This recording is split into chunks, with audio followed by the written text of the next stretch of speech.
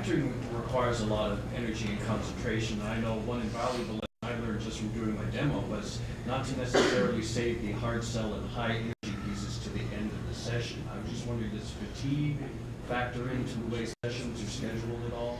Yeah, especially now that games are uh, such a huge part of uh, the gaming industry. We've got some chairs up here, Yeah, you come guys. sit down, guys. Come You sit. don't have to stand, come sit down. Uh, the gaming industry is We now won't becoming it, budge. huge. And unfortunately, what a lot of the game sessions are, screaming. I just did uh, a game where I'm going to be one of four versions of this character that stands next to the player and yells at them the entire game, or talks to them, or says, you know, maybe you should go this way. Oh, look, there's a lever on the floor. You know, I mean, it's just like, at the end, you're like, pick up the frickin' lever. You know, I mean, we did 30 sessions of screaming, screaming, screaming. So I would work all day and scream all night. And, you know, they said, we'd love to do four hours. And I just said, I can't. Vocally, I can't scream for four hours. Nobody can. It's just, you're dead after a while. And a lot of the actors now will call up and say, I'd love to do the game. How much screaming is there? We get calls from the agents too saying, how much screaming? Just so I know, and if there's a lot, schedule me on Thursday or Friday. That way I have the weekend to recover because you're just dead. If you do it on Monday, you've blown your voice and you're out for a week, and that that, that can be a lifetime in our in our industry. So fatigue, I don't. You know, some people like I guess in Texas Funimation they'll do like eight hour days. People come in for the day and they, they just record for eight hours, and I just think, ha, ha, I'd be dead. Well, we used to do that too. We used to do that. I mean, they changed it a little bit. That's unusable material that way. Yeah, I think so too. I mean, how can you have such a deten- uh, an attention to detail? You get uh, diminishing returns at some point, you know, you just can't deliver, you know. and Yeah.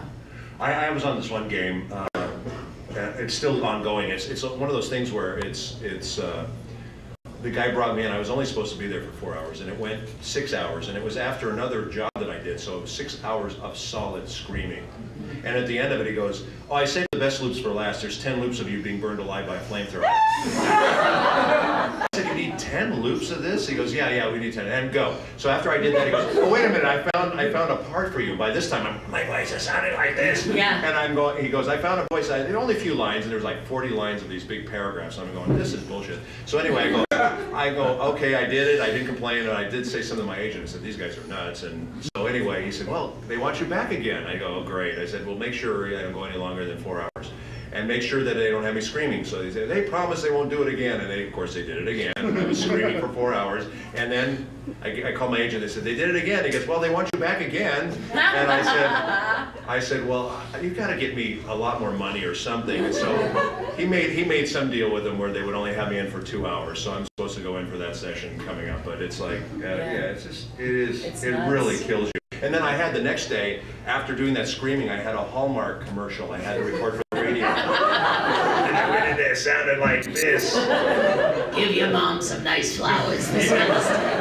I'll kill you. That's right. But it's also up to, uh, go ahead, continue. uh, it's up to us as directors, like for what Richard said, that, you know, I mean, I've been in sessions too, where it's screaming zombie, zombie, screaming, screaming zombie, and then they're like, and now we've got an eighteen-year-old for you to play. And I said, well, one, know. I couldn't have played the eighteen-year-old at the beginning of the session, but now that I sound like Brenda Vaccaro, I'm not, gonna- definitely not gonna be able to. Thank you, so some people actually remember who There's Brenda three Vaccaro people is. out There's here. three who people. know Brenda Vaccaro. Brenda Vaccaro used to sell Tampax tampons, and she had a voice like this. And she'd be on And she was married to Michael Douglas. Tampax tampons, what a woman needs. Yeah. But that's what we all sound like after a session. I know guys You're like leaving out the breathing. I'm Brenda Vaccaro.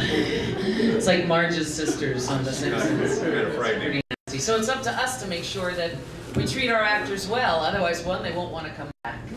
Uh, two, they'll ask for too much money. And uh, three, will blow out their voices. And it's just not. Well, the good thing is both fair. Mary and I are actors, so we understand it from both sides of the mic. Yeah. And we know that when someone's in there, what's going to tax their voice. And, you know, I'm, I'm sure you, you know, you go out of your way to give them breaks and stuff like that. It's really taxing, and I do the same. And so we're, we're aware of it. Unfortunately, not everybody that directs this stuff has any clue what they're doing or has ever directed or acted or written or anything. And sometimes they just think, well, I can do that. And they get in there and they think the actors are machines, that they can just basically push them to the max and keep pushing and pushing and pushing. And they're not machines. We're for people, and, you know, it just doesn't work that way, so. Yeah. You said when you made your demo, are you doing, uh, do you do voiceover work or do you? Very How do I cool. do the demo? It's got a nice t-shirt on. Find me on Facebook. You're in the park after eleven. That's right.